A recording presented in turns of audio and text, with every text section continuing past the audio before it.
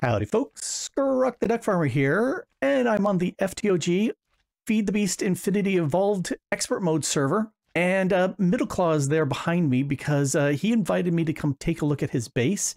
And uh, so we're going to do that. And since I can fly, it makes life so much easier. So um, Middleclaw can say howdy. Howdy, and everybody. There you go. Uh, so your base is south of here? That's correct. Uh, I don't believe it because I don't see anything at all. Well, if you ta- if you step forward and find out. uh, yeah, we're out of render distance, so let's go fly on over and see how fast it renders in. There we go. I think you've been doing the most modern industrial sort of base on the server. Everybody else, I, am doing wood and stone. That's that's my standard uh, beginning uh, build. But I like this. Well, the idea is the idea is for uh, science fiction, mm-hmm. more space age. Oh yeah, and so I don't think modern I don't think modern materials can actually handle all this weight. No, it, it probably wouldn't. But uh, lots and lots of uh, carpenter's blocks on here, uh, nether brick there. Yep, lots of good looking stuff here. And I, I love the little design work on the the side that's here on the centerpiece that's you know holding up the the top platform. Uh, I I do like that little. Well, the well the main structure of the base is complete, but I still need to do work on the details and everything else.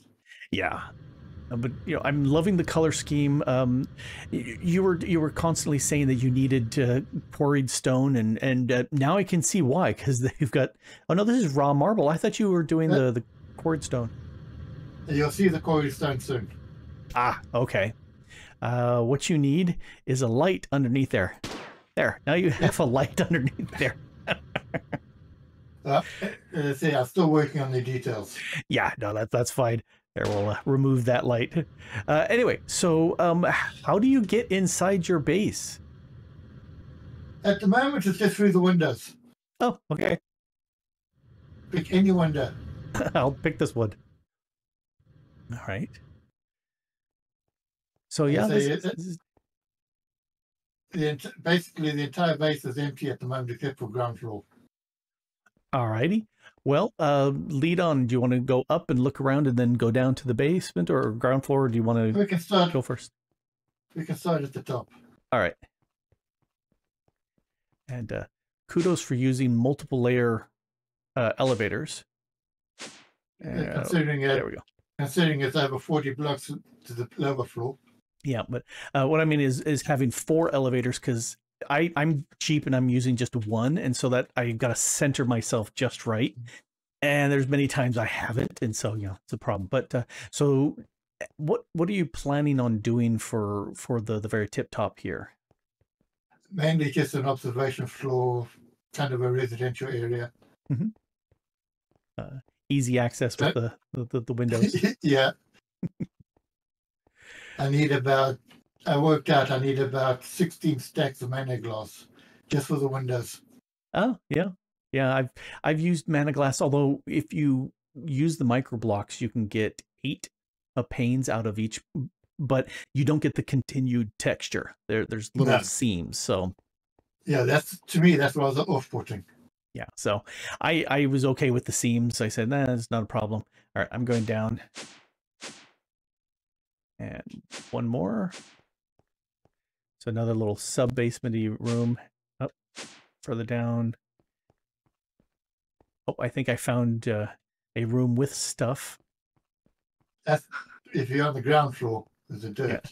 So, well, you've got the the deep storage unit. So this has got to be where your your mining is is uh, feeding in. Uh, so I'm one level up. Uh, there you go. Yeah. Yeah, I've not taking a look at the the deep storage units. Uh, those are the, like the the two billion storage. Yep, I used to use when I used to use resident caches. Mm-hmm. Now when the stone kept, uh, kept on clogging up because of the stone. Yeah, uh, that's why I really like the the storage drawers with the void upgrades for for yeah. stuff like stone. Is slap a bunch of emerald upgrades and a void, and then let it just run. Is that I don't need that much stone. I can make more. so cool. All right, uh, let's go down one more because I, I Uh, didn't but, see uh, that. Oh, Oh. you- there's uh, something I wanted to show you here. Oh, okay. What do we got? What do we got? Up here, there's, I'm planning actually to put my mob spawners. Ah, and then they a just separate area, a, a, a separate area for each mob spawn. Oh, so not a a central shaft and just let them fall. No, I don't want to over. I don't want to overload the systems. Yeah, yeah.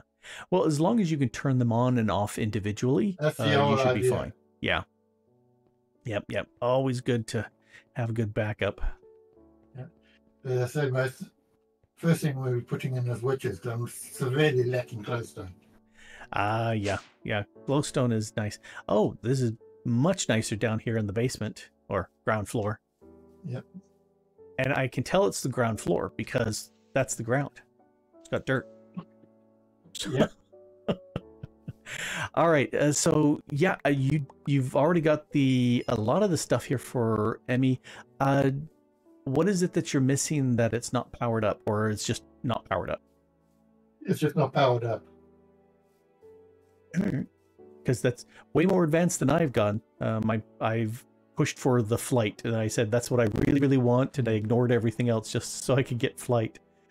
Well, I rushed. I rushed to get what get my kind of flight at the moment. Yeah. Yep. Then and- everything. Then it's just been concentrating on building. yeah, and you you've got the biggest building uh, on the server, which is which is totally makes sense. Uh, and then, kind of like I've been doing, just randomly stacking machines in various places. Yeah. Def- definitely the way I do it. So yeah, Well, you- thanks to thanks to Asha, I've been up, able to get a little bit of a progress. Oh, that's good. Yeah. I see you got ready to do the uh, UU matter bits there. I've already been doing UU matter. Yeah, yeah, I'm preparing for that with scrap, but uh, haven't uh, haven't made any of these these blocks that I need to to, to process them. The centrifuge and these three uh, replicators, Well- scanner, and the pattern scanner storage. Well, I'm planning to supply these recyclers with uh, mob loot.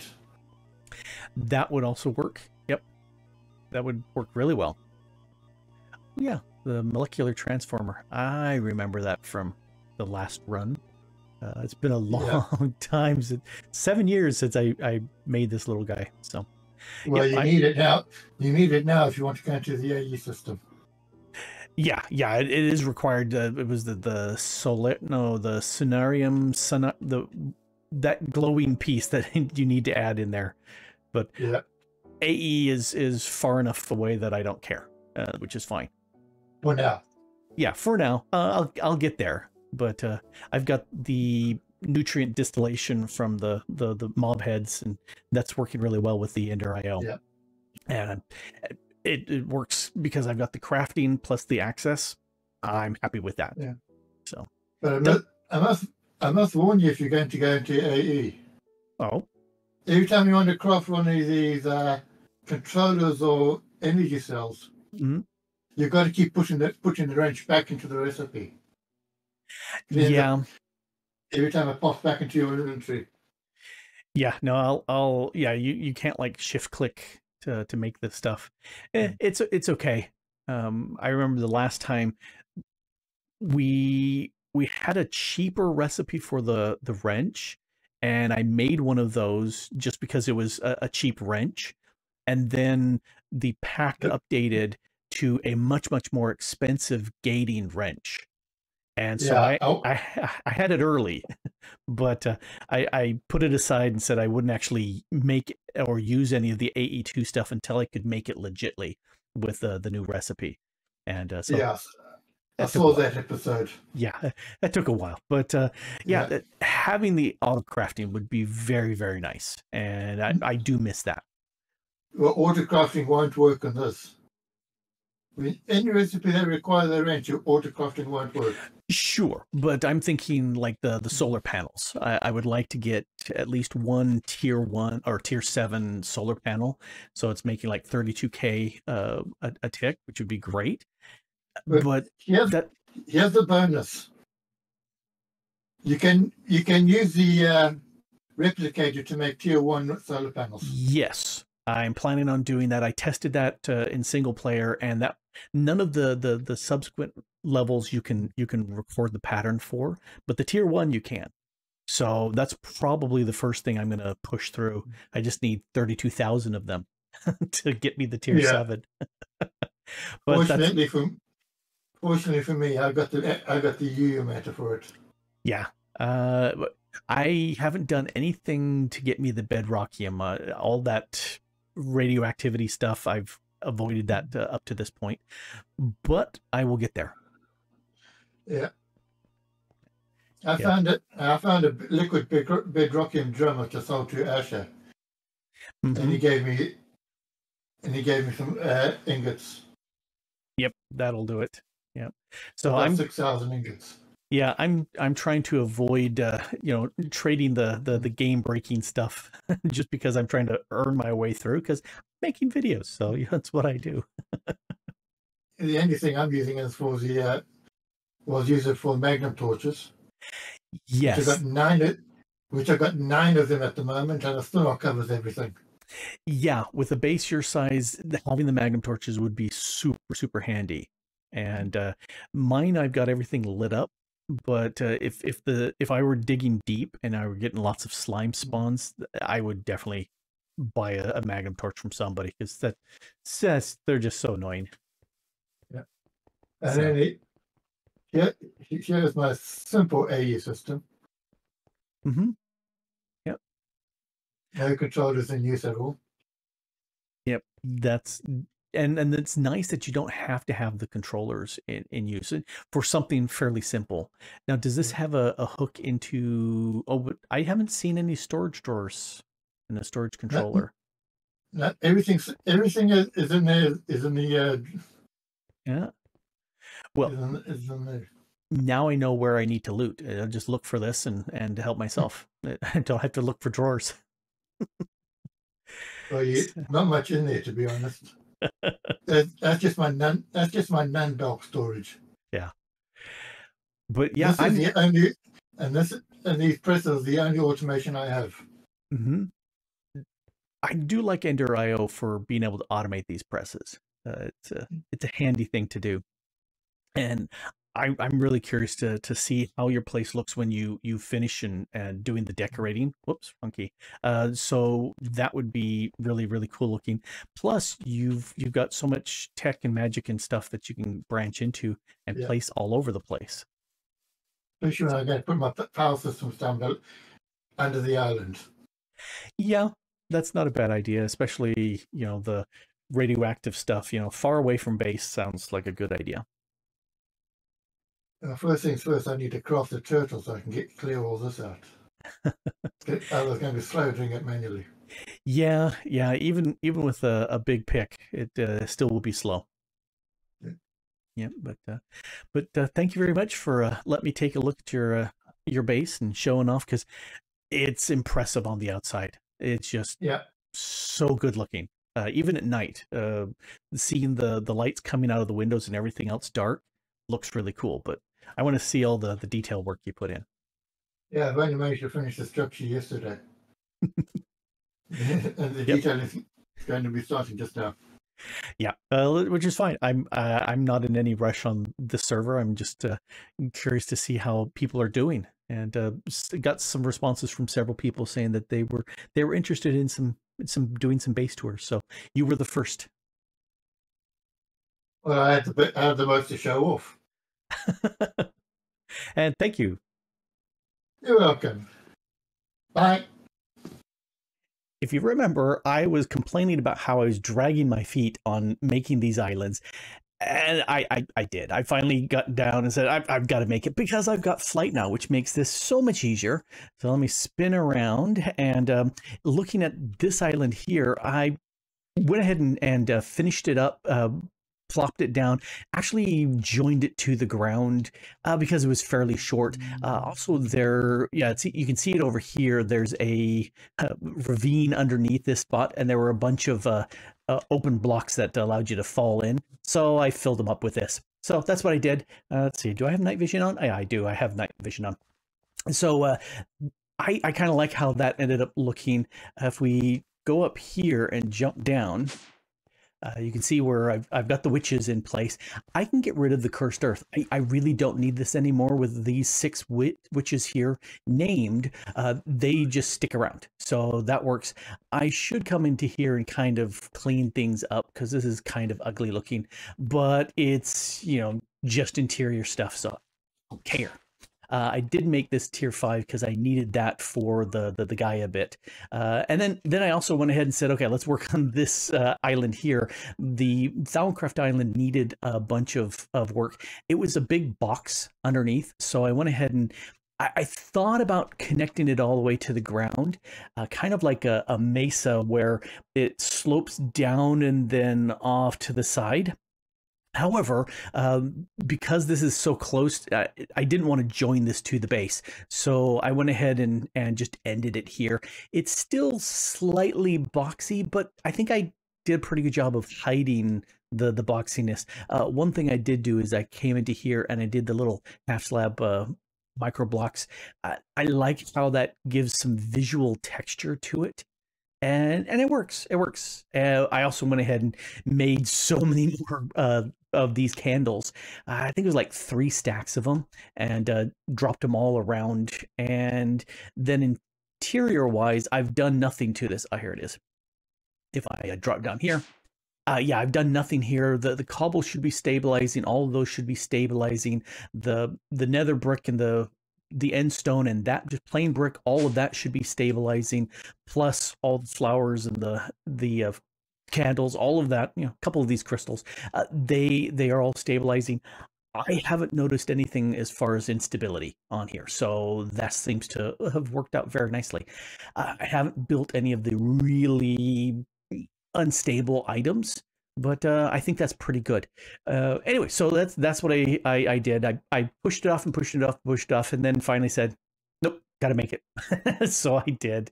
Uh, and then um, there was uh, an ask I got from Thorgal. He was saying, "Hey, I want you to make some bits." And and here's where there's going to be a little bit of a change up.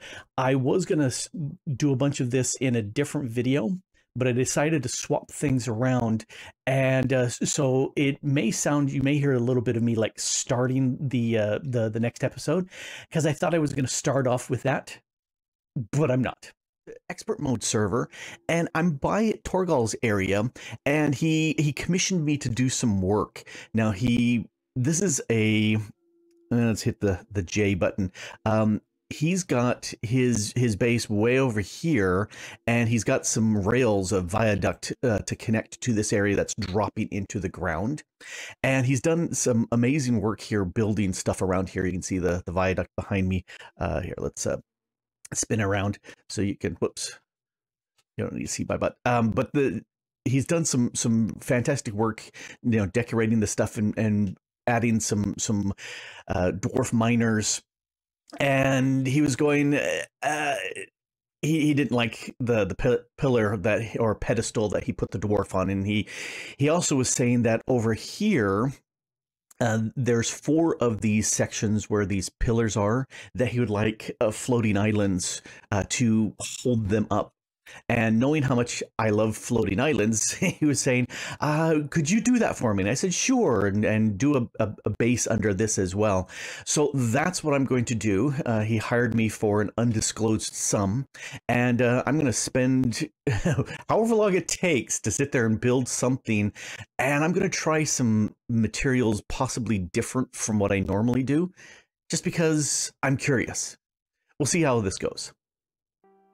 So here's Thorgal's uh, base that he built and he didn't like, and it's it's very strongly anchored to the ground, which I like floating islands, so it doesn't need to be hard. But I decided to to go with that uh, snow layer that he has there.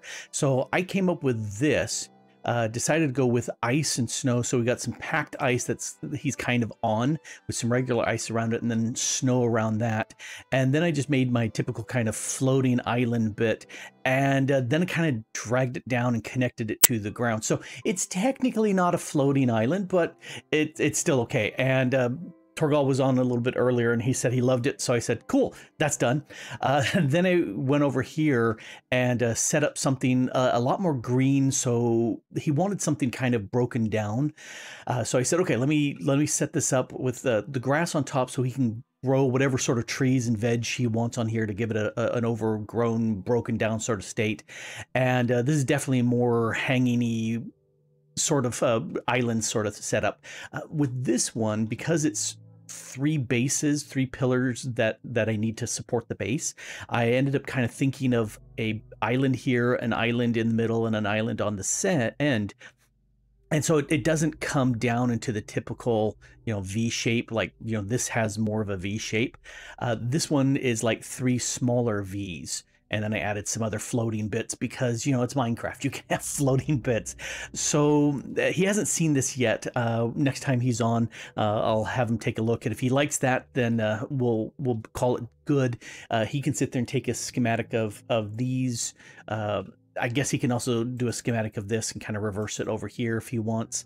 Uh, if you want something different, he can he can ask. Uh, anyway, so that's that's what I, I did for him because uh, he wanted floating islands, and I said, sure, I can do that. so there you have it, uh, a, a, bunch of island building and uh, Middleclaw's base, which always looks amazing. He he tends to build really big, and he's not disappointing in in this pack. So just wanted to show that off. Uh, as as people ask, I may show off some other bases because it's fun to see what other people do. You know, I build my way, other people build their way, and and it's fun to see what they do. Anyway, this has been Grok the Duck Farmer here, having a blast uh, doing a little island building and uh, touring of bases, uh, specifically Middleclaw's, here on the FTOG Feed the Beast Infinity Evolved Expert Mode server, and having a blast. And we all are. And thanks for watching. Bye.